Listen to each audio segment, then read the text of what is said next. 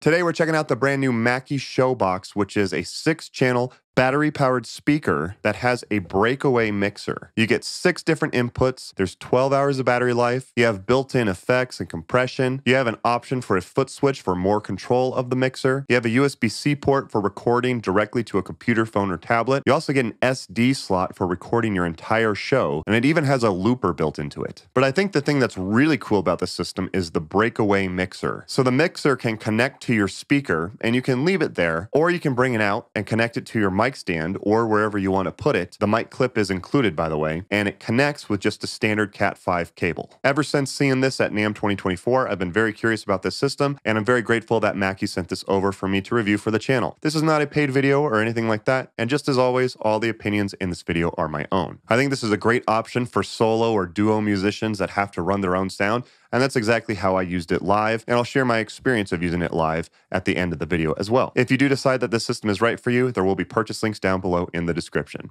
That's enough the intro. Don't forget to subscribe if you're not already subscribed, and let's check out the Mackie Showbox.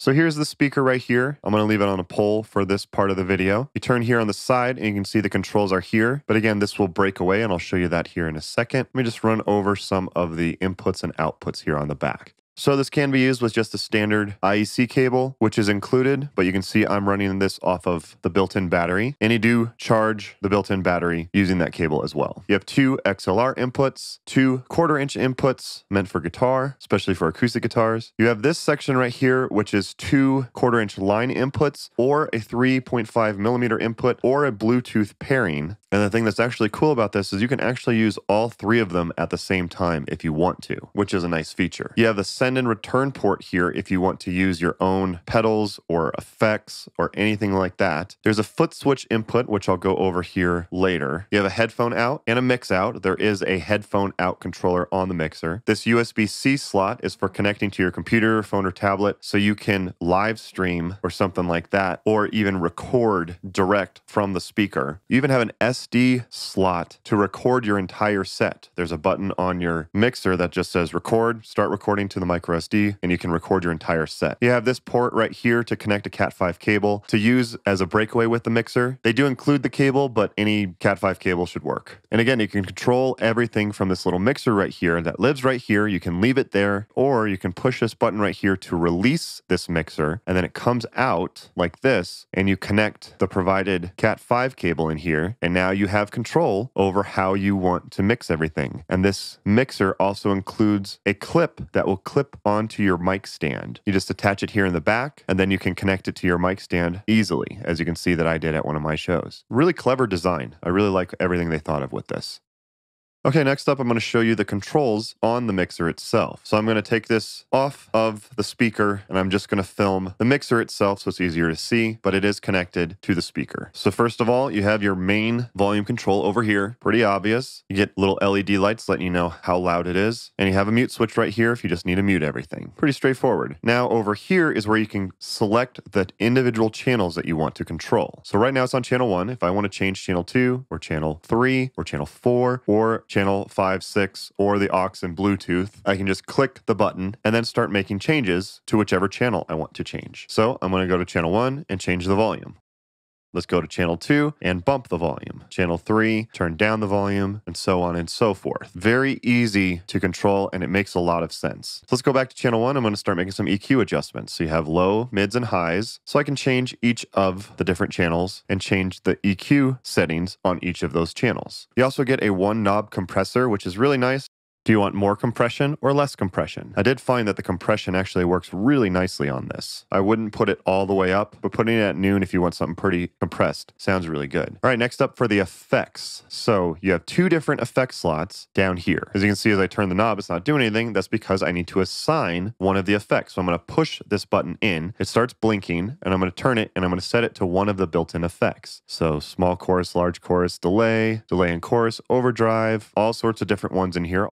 So let's say I'm just going to choose a small chorus. That's what I want on this channel. I'm going to push it in to assign it and then decide how much of the small chorus I want. So do I want less or do I want more? I also can do the same thing on this one. This is where you're going to find more of your reverbs. So you have plate reverbs, room reverbs, hall reverb, spring reverb, and then you have some other ones that were on the left side as well, including delays and chorus and stuff like that. And I will do a tone demo of these reverbs a little bit later. But let's set it to small plate and I'm going to set my level accordingly. Now, does this mean that on all the channels I have to have small chorus and small plate? No, I get individual control of each effect that I want on each channel. So if I go to channel 2, you'll see nothing is assigned right now. So I'm going to assign this one to a slow delay and this one I'm going to set to a large hall reverb and dial those in accordingly. Channel three, I'm going to set that one to a crunch and a spring reverb. A lot of mixers, they basically give you one effect and it just goes to all channels and you choose how much you want. On this one, you have two effects on each of the channels. I love that. That is very cool. Although you do not get any effects on channel five and six or the Bluetooth or the aux, which most people probably won't need anyways. You can see I literally can't put anything onto those. I also also can't do any compression or the effects loop, but I can adjust the volume gain and the EQ on that channel. And if for some reason there's an effect that you specifically want, you have that effect send and return, and you can dial in how much of that signal you want to put in on each channel. So say I have my own reverb that I really like, I'm going to plug that into the send and return. And then on channel four, I'll add some of that effect loop into here. Put a little bit on channel three, so on and so forth. Although I do find that the reverbs and delays in here are quite nice. A couple other controls here. When you are ready to start recording your set, you just push this SD record button. I don't have an SD card in there, so it wouldn't work. But all you have to do is just push it once to start it, push it again to stop it, and it'll save to the SD card. You also have this headphone output right here. So especially if you're using this with like in-ear monitors or something like that, plug in your in-ear monitors to that headphone out and you have control over how loud you can hear yourself in the in-ear monitors, which is definitely very nice. You do have a looper here. Pretty crazy that a speaker has a built-in looper with it, but it is pretty straightforward. And it even says it here on all the different controls. Push it once to go into record mode and it'll be blinking. Push it again and the white light is solid. That means it's playing. And then touch it again and it'll go back to overdub and it'll switch between overdub and play mode. If you double tap it, it'll stop the loop and you can hold it and it'll clear the loop. You do get more controls over this with the foot switch, and I will show you that a little bit later. And you have the level of the loop right here.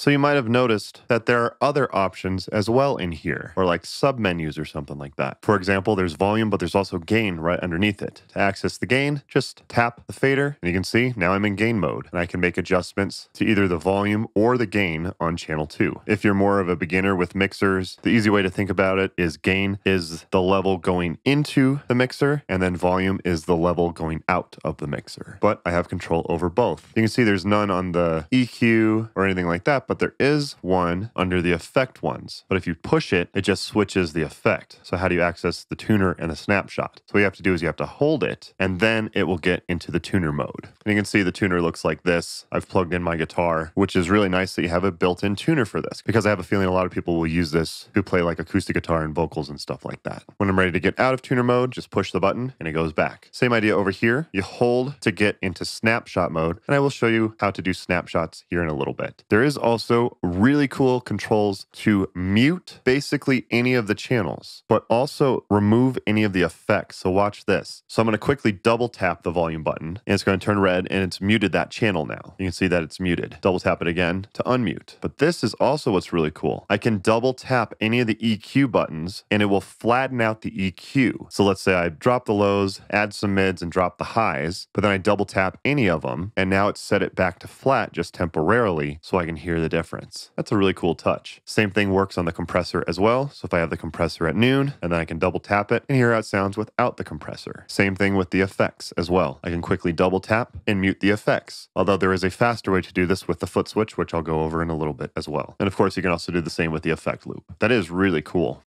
There is also an auto gain feature in here, which is really nice. So you can see if I clip the signal, which you can see if I just tap on my instrument cable, you can see that it's giving me a red indicator saying that I've clipped the signal. So you can set the gain manually, or what you can do is you can hold the first button and it'll start blinking and it'll let you know that that is in auto gain mode. And then I can start strumming my guitar. As I strum, you can see it's bringing up the gain, it's bringing up the gain, and it's settled on noon. So that's where I should have the gain at. Awesome that it has an auto gain setting, so you can set your gain accordingly accordingly. The more you dive into this thing, the more there's some really cool features. And speaking of cool features, there's also snapshots. You have five different snapshots that you can save. So if you have multiple configurations, you can save all of your settings and then recall them later when you're ready to play a show. So to get to snapshots, hold effect two until it goes to snapshot. You can see you can scroll through five of them, or you can get all the way to the end and back out. It took me a minute to find out how to get out of snapshot mode when I tried to get into it. But I'm going to go to one of the snapshots. Let's go to snapshot one. I can either save or recall snapshot one, or I can back out of it and go to a different one. So let me go ahead and save this to snapshot one. So what I'm going to do is I'm going to go to channel one, take note of where everything's set at. And what I'm going to do is I'm just going to turn everything basically off. Basically everything all the way to the left, either at zero or completely off for everything. Now I'm going to go back to snapshot one. I'm going to recall this time.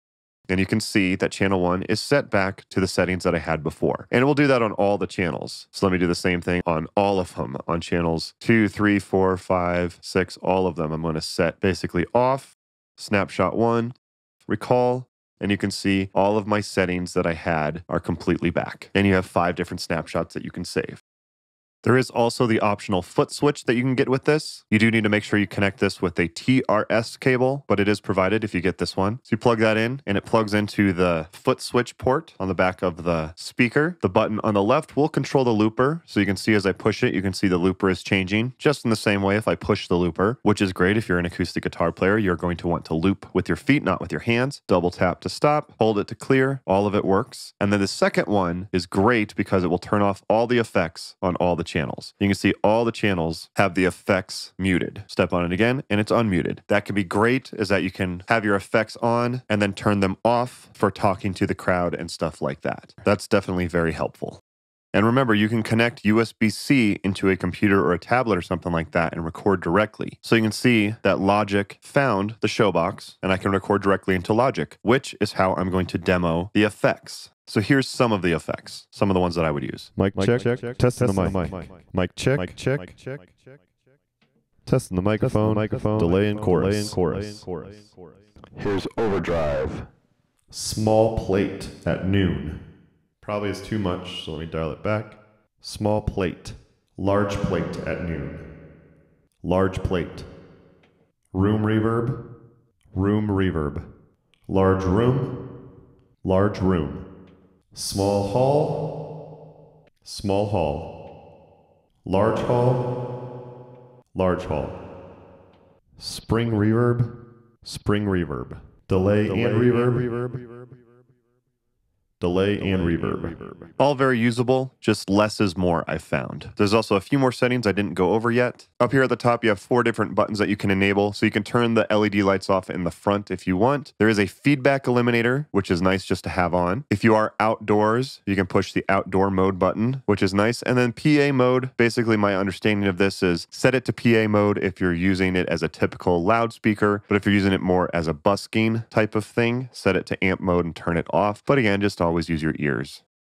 And last but not least, you have the case for it. This is a really nice case. I definitely recommend getting it if you get the speaker. Fits the speaker nice and snug. You have two different pockets, so you can store the Cat 5 cable, the mic clip, power supply, foot switch, guitar cables, IEC cable just in case. And again, you have this whole second pocket right here for storing even more stuff, which is great. My favorite thing is that you can carry it either with this handle right here or it has straps to carry it like a backpack. I love that. I wish every case had this as an option. I can't tell you how nice it is to do a one trip load in if you can do it. Sorry to rub that in, drummers. But yeah, I love this case.